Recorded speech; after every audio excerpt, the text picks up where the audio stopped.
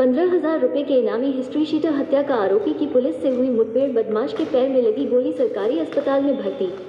6 जनवरी को थाना जसराना में सोनू यादव नाम के युवक की गला घोटकर हत्या के मामले में मुकदमा दर्ज कराया गया था, जिसमें शिकोहाबाद थाना क्षेत्र का हिस्ट्री सीटर बदमाश हरिकांत उर्फ़ टिंकू फरार चल रहा था। देर रात थाना जसराना पुलिस खेरिया अहमद तिराहे से दिनौली गोरबा जाने वाले मार्ग पर चेकिंग कर रही थी। तभी एक युवक अपाचे मोटरसाइकिल पर पुलिस को संदिग्ध लगा तो पुलिस ने उसे रोकने का प्रयास किया तो वह भागने लगा। जब पुलिस ने उसका पीछा किया तो उसने पुलिस पर फायरिंग कर दी। अपने बचाव में जवाबी फायरिंग पुलिस ने की तो एक गोली संदिग्ध व्यक्ति के पैर में लग गई और वो अपने अपाचे मोटरसाइकिल सहित वहीं गिर गया।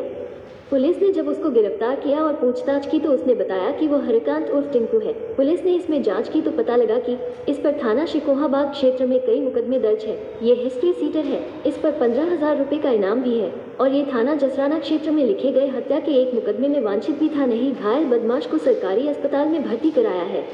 पुलिस ने उसके पास से एक 315 बोर का तमंचा तो ज़िंदा कारतूस, तीन खोखा कारतूस 315 बोर और एक सफ़ेद अपाचे मोटरसाइकिल बरामद की है।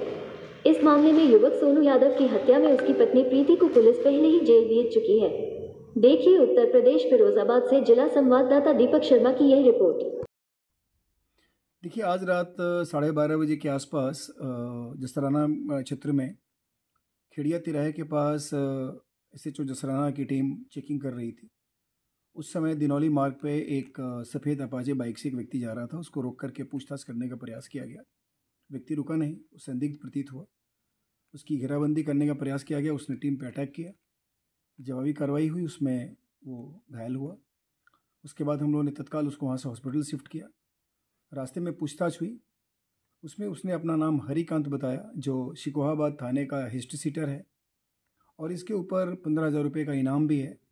बेसिकली इनाम थाना जसराना में एक मर्डर हुआ था छः जनवरी को।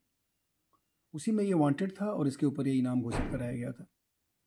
इसके पोजीशन से एक तमंचा कोका कारतूस और ज़िंदा कारतूस भी बरामद हुए हैं। बाइक भी बरामद हुई है। इस घटना में जो मर्डर का मुकदमा था, उसमें और भी वांछित हैं, उसके लिए हमारी टीम लगी हुई है और इससे पूछताछ की गई है। अगली मैदानी कार्रवाई की जा रही है।